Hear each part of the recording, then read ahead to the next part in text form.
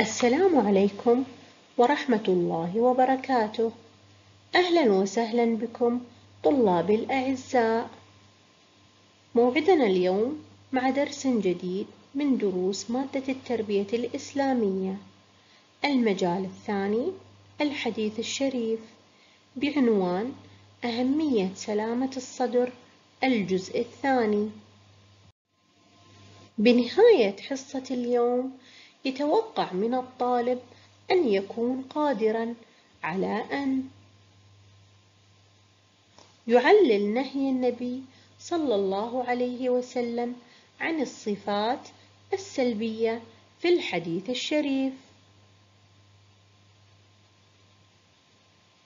وأيضًا يعدد الأمور التي نهى عنها النبي صلى الله عليه وسلم في الحديث الشريف. طلابي الأعزاء.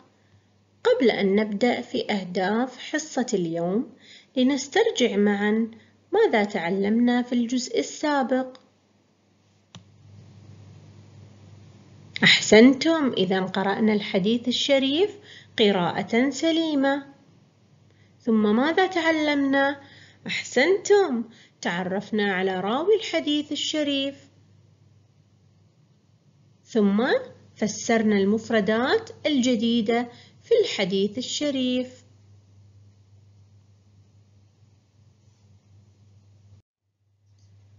طلابي الأعزاء هيا لنتذكر معا من منكم يساعدني في الإجابة على هذه الأسئلة. لنشاهد معا السؤال الأول. أكمل نص الحديث الشريف. لا تباغضوا. ولا تحاسدوا ولا تدابروا. من منكم حفظ الحديث الشريف؟ أحسنتم. وكونوا عباد الله إخوانا. لننتقل الآن إلى السؤال التالي. اكتشف الخطأ فيما يلي. راوي الحديث هو عبد الرحمن الأنصاري الخزرجي رضي الله عنه. كنيته هو أبو هريرة رضي الله عنه كناه بها رسول الله صلى الله عليه وسلم. هيا لنكتشف الخطأ معا. بارك الله فيكم. إذا الإجابة الصحيحة هي راوي الحديث هو أنس بن مالك الأنصاري الخزرجي رضي الله عنه. كنيته هو أبو حمزة رضي الله عنه. كناه بها رسول الله صلى الله عليه وسلم. لننتقل الآن إلى السؤال التالي. ما معنى المفردات التالية؟ لنتذكر معا يا طلابي. معنى كلمة لا تباغضوا هي أحسنتم لا يكره بعضكم بعضا. ويهجر بمعنى يقاطع. أعزائي الطلاب لنبدأ بالهدف الأول لحصة اليوم وهو أن يعلل الطالب نهي النبي صلى الله عليه وسلم عن الصفات السلبية في الحديث الشريف. إذا يا ترى ما هو سبب نهي النبي صلى الله عليه وسلم عن الصفات السلبية؟ لنشاهد الإجابة معا. فالمجتمع الإسلامي هو مجتمع متماسك قوي تشيع فيه المحبة والمودة ويسوده التعاون والتراحم. ولكي يبقى هذا المجتمع على تماسكه وقوته نهى النبي صلى الله عليه وسلم عن الصفات السلبية في الحديث الشريف حتى يبقى المجتمع على تماسكه وقوته. إذا لنشاهد معا هذه هي الإجابة حتى يبقى المجتمع على تماسكه وقوته. فنقصد من هذا بأنه يجب علينا أن نبتعد كل البعد عن الصفات السيئة في الحديث الشريف لأنه إذا اجتمعت بعضها أو كلها في شخص واحد كان من شر الناس. طلابي الأعزاء لنتأكد من تحقيقنا للهدف الأول من خلال حل الأسئلة التالية. السؤال الأول. علل نهي النبي صلى الله عليه وسلم عن الصفات السلبية في الحديث الشريف. هيا لنفكر في الإجابة. أحسنتم. حتى يبقى المجتمع قوي ومتماسك. ننتقل الآن إلى السؤال التالي في الكتاب صفحة 36 سادساً. ضع علامة صح أمام السلوك الحسن وإشارة خطأ أمام السلوك المذموم. التباغض. أحسنتم. إذن هو يعد سلوك مذموم. أما التحابب فهو سلوك حسن. التحاسد يعد سلوكا مذموما نهانا عنه الرسول صلى الله عليه وسلم. أما التواصل فهو يزيد الألفة فيما بيننا. التقاطع والتدابر فهو يعد سلوكا مذموما. بارك الله فيكم. بعد أن تعلمنا يا أبنائي لماذا نهانا الرسول صلى الله عليه وسلم عن الصفات السلبية في الحديث الشريف؟ هيا لنعدد الأمور التي نهانا عنها الرسول صلى الله عليه وسلم. إذا لنفكر يا طلابي من خلال الحديث الشريف الذي أمامكم ما هي الأمور التي نهى عنها النبي صلى الله عليه وسلم في الحديث الشريف؟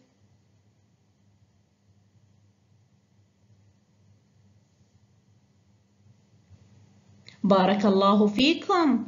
أمرنا الرسول صلى الله عليه وسلم بالابتعاد عن التباغض والتحاسد والتدابر والهجر.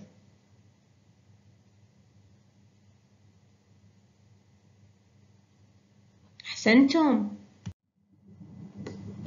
أعزائي الطلاب لنرى أول صفة أمرنا الرسول صلى الله عليه وسلم بالابتعاد عنها هي التباغض. إذا نهى النبي صلى الله عليه وسلم عن كراهية الناس لبعضهم البعض داخل المجتمع والغرض من هذا الأمر تدريب النفس على حب الآخرين وتجنب الصفات التي تفسد القلوب. إذا للتباغض آثار أيضا تترتب عليها وتنقسم إلى قسمان. هناك آثار تترتب على الشخص. قد يمنعه البغض من حسن التصرف مع الآخرين وقد يسلك سلوكا سيئا ليزعجهم أو يكون أنانيا في التعامل معهم. أما الآثار المترتبة على المجتمع فهي قد تؤدي إلى القطيعة والظلم أحيانا وتقل فرص التعاون بين الناس مما يؤثر في تقدمهم ومصلحتهم. طلابي الأعزاء لنتعرف على الصفة الثانية التي نهانا عنها الرسول صلى الله عليه وسلم. التحاسد. إذا نهانا النبي صلى الله عليه وسلم عن التحاسد وهو تمني زوال النعمة عن الآخرين وذلك لما له من آثار سلبية على المجتمع المسلم. وبين صلى الله عليه وسلم أن المؤمن لا يكمل إيمانه حتى يحب لأخيه ما يحبه لنفسه. إذا هناك آثار تترتب على التحاسد. يا ترى ما هي؟ أحسنتم. إذا هناك آثار تترتب على الفرد. وهي أن المؤمن لا يكمل إيمانه. أما على المجتمع فهي تنتشر فيه البغضاء والعداوة. أبنائي الأعزاء لنفتح الكتاب صفحة ثلاثون لحل نشاط أفكر وأجيب. فكر فيما يجره الحسد من آثار سلبية. على الشخص الحسود والمجتمع الذي يكون فيه الحسد منتشرا. لنفكر معا. بارك الله فيكم. إذا الشخص الحسود يكون إيمانه ناقصا. أما المجتمع فتقل فيه فرص التعاون بين الناس وتنتشر فيه العداوة والبغضاء والكراهية. طلابي الأعزاء هيا لنتعرف على الصفة الثالثة التي أمرنا الرسول صلى الله عليه وسلم بالابتعاد عنها وهي التدابر. فقد نهانا النبي صلى الله عليه وسلم عن المعاداة بين المسلمين وإعراضهم بعضهم عن بعض والذي يكون غالبا نتيجة للبغض الذي يقطع أوصال المجتمع والإسلام يحث على التآخي ونشر السلام والمحبة لذا لا يجوز للمسلم أن يعرض عن أخيه أو يبغضه كي تنتشر المحبة والأمن والسعادة بين الناس جميعا إذا على ماذا حثنا الإسلام في هذا الحديث الشريف؟ هيا فكروا معي. أحسنتم. إذا الإسلام حثنا على التآخي ونشر السلام والمحبة والابتعاد عن كل ما هو سلبي وسيء. هيا لنتعرف على الصفة الرابعة المذمومة في الحديث الشريف وهي الهجر. إذا الأصل في علاقة المسلم مع إخوانه هي الود والتقرب إليهم غير أنه قد تحدث بعض المشاكل بين الناس فينزعج المسلم من أخيه ويفكر بمقاطعته إلا أن الرسول صلى الله عليه وسلم نهانا عن الهجر فوق ثلاثة أيام فيكون الإنسان قد هدأ وذهب عنه الغضب خلال هذه المدة وبينت الأحاديث الشريفة أيضا أن خير المتخاصمين هو الذي يبدأ السلام لأنه جاهد نفسه وتغلب على أسباب الهجر لديه فاستحق بذلك أن يكون خير الاثنين إذا كم يوم نهانا الرسول صلى الله عليه وسلم عن الهجر؟ فكروا معي يا أبنائي. أحسنتم. إذا نهانا الرسول صلى الله عليه وسلم عن الهجر فوق ثلاثة أيام. من هو خير المتخاصمين؟ هيا لنفكر. بارك الله فيكم.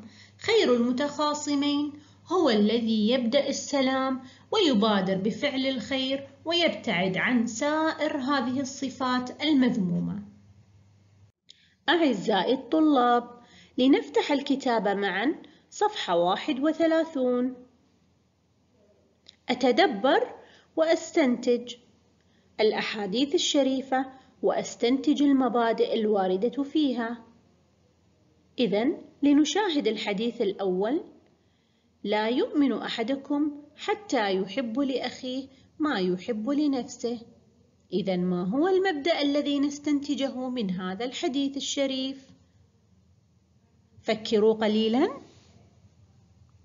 أحسنتم. عدم التباغض والتحاسد. لنشاهد الحديث التالي.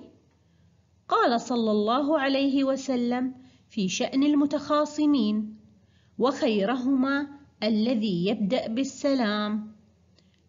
إذا ماذا نستنتج من هذا الحديث؟ لنفكر معا. بارك الله فيكم. عدم التخاصم. إذا يحثنا هنا الرسول صلى الله عليه وسلم على المبادرة في البدء بالسلام. لنفكر الآن معا. ما هي القيمة التي نستطيع أن نستنتجها من درس اليوم؟ أحسنتم! سلامة الصدر هي القيمة التي حثنا عليها الرسول صلى الله عليه وسلم. لنفتح الآن الكتاب معا صفحة 35 لنتأكد من تحقيقنا للهدف الثاني. بسرعة. يا أعزائي. رابعا ما الآثار السلبية المترتبة على وقوع التباغض؟ على الشخص وعلى المجتمع. هيا لنفكر معا. بارك الله فيكم.